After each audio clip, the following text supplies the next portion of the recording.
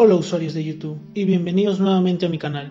Esta vez vamos a hablar de The Own House, específicamente sobre Lumit. Supongo que muchos de ustedes ya están conscientes de la popularidad que ha ganado este ship, así que la pregunta persiste, ¿será como el Starco? ¿Será forzado? Aquí intentaremos responder eso. En lo personal no creo que sea forzado, sino cliché.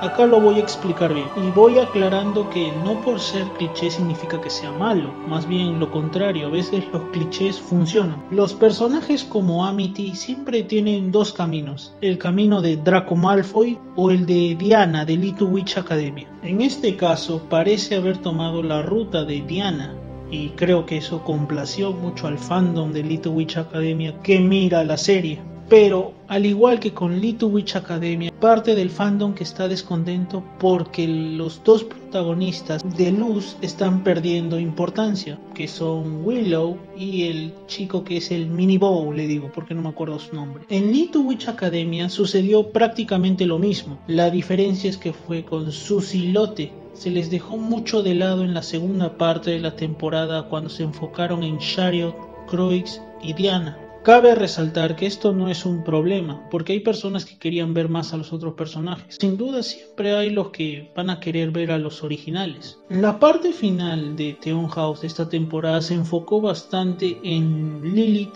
y Eva, su conflicto. Es un cliché, pero un cliché muy bueno que le gustó a las personas porque como dije, los clichés bien hechos son buenos. El arco narrativo de Amity de que le gusta Luz no distrae nada de la trama principal porque la creadora, aun cuando confirmó que Amity es lesbiana, no ha perdido de vista de lo que se trata su show y eso es lo importante. Mm, debo agregar que Amity es solo, o bueno, el Lumity en este caso, es solo el diaco, pero un poquito más enfoque. El director ya está como accediendo a la idea debido a que hubo un poco de diferencias con la guionista principal y él. Supongo que se puede decir que el Lumity va a lograr lo que el Diaco no pudo en su momento. Bueno, esperemos que haya segunda temporada de las brujitas, así vamos a tener Diaco. Así que les digo que el show no va a perder su esencia, disfruten la serie y el chip está muy bien,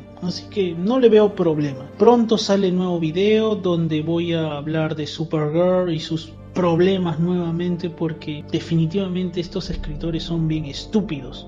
Agradezco que en la animación sean mucho más abierto a ideas nuevas porque, Dios mío, nunca he visto tanta estupidez reunida en un solo lado como en el staff de Supergirl. No me refiero a las actrices ni nada, sino de los escritores, bueno, no todos, sino una parte. Pero en fin, esto lo hablaré en otro video. Sin más que decir, les digo, disfruten la serie y vive el Diaco y el Lumity.